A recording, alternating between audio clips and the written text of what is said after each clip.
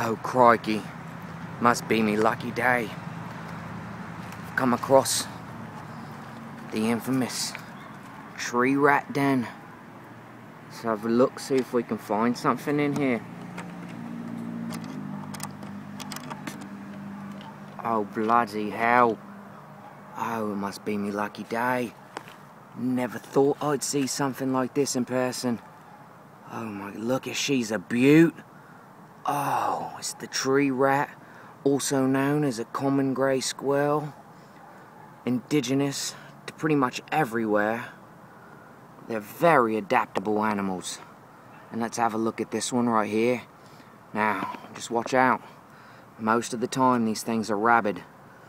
Wouldn't want to get bit. Let's see if I can pick it up. Oh crikey, look at that.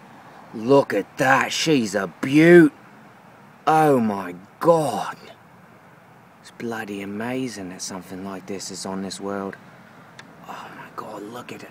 Look at her, look at the tail. The tail, oh my god. And look at that white belly. The white belly. It's where they get the name tree rat from. Don't know quite why. I'm not the scientist, I'm just the guy that finds him out. He's trying to get into his little burrow. Alright, what I'm going to do here, now kids, don't try this at home. I'm going to pull this burrow up. There we go. Let's see if I can't get him out of here. Let's see if I can't get him out of here. Oh, there we go. Oh, look at him. Look at him go. Oh my gosh. Whoa. Whoa, what a beaut. Oh, crikey. Oh, crikey, look at this. Oh. Think I'm gonna name this little fella Spanky the Squirrel. Oh, crikey, look at him. Look at the close-up right there. See the fur provides ample camouflage in this wooded chicken coop environment. See how he blends in with the white tail? You can barely even see him. It's amazing. It's amazing. If you look over here, you see what the tree rats like to eat peanuts, a little bit of avocado, maybe even some corn.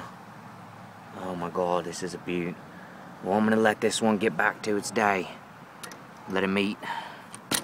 Crikey, I can't believe, can't believe I just saw that in the wild. Oh my god. Wow.